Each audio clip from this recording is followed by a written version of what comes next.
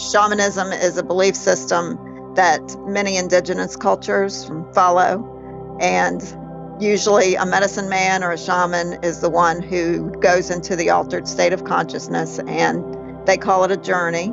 And they journey into the soul and they find what's missing, and then they go retrieve it and bring it back. So, in my practice, because I've I've got a knack for shamanism and I've studied it with teachers, but I I had an awakening with that too, where I was just introduced to shamanism and it seemed like I already knew what to do. And I just realized, oh, I know, I know, I already know how to do this. And um, then I incorporated that with other healing modalities like Reiki and some other healing modalities that I had learned.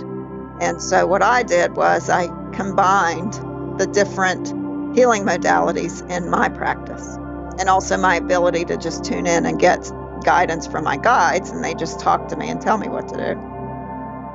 A lot of people are so wrapped up in fear, it's difficult to let go of the need to control because when they are controlling something, then they feel like they are protecting themselves. So a lot of it has to do with the feeling of not being safe. And when they can let go of that and know that they're safe and that they can trust the process, then it's easier for them to open up and allow themselves to heal.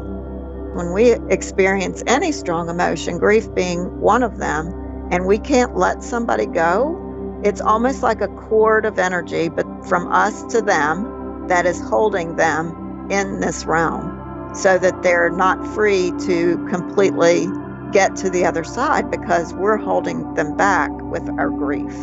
And I'm not saying that we can't grieve because we can. We have to grieve, and grieving takes as long as it takes. However, at some point, it's a gift that we give to our loved ones to allow them to move on and allow ourselves to move on. In my book, I did include a blessing to the dead that is a way of doing that, where we're releasing them to the next expression of their soul.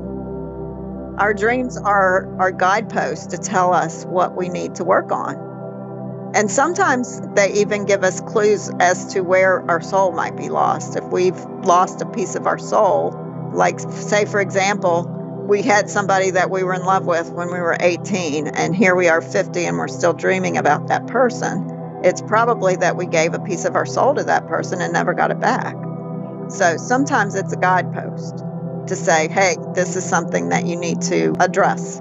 Have you ever had a dream and when you woke up, you couldn't figure out which place was real? Am I awake? Is this real or was the dream real? So I think there's so many different dimensions. And even science is now saying there's at least 12 dimensions. And there are alternate realities going on simultaneously in many different dimensions. And so, which one is real? And how can we know which one is real?